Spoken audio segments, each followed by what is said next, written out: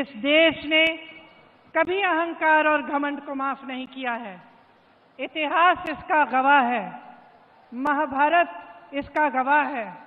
ऐसा अहंकार दुर्योधन में भी था।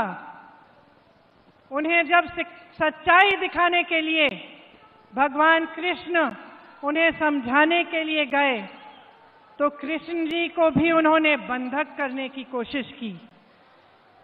इसी अहंकार पर राष्ट्र कवि रामधारी सिंह दिनकर की कुछ पंक्तियाँ हैं।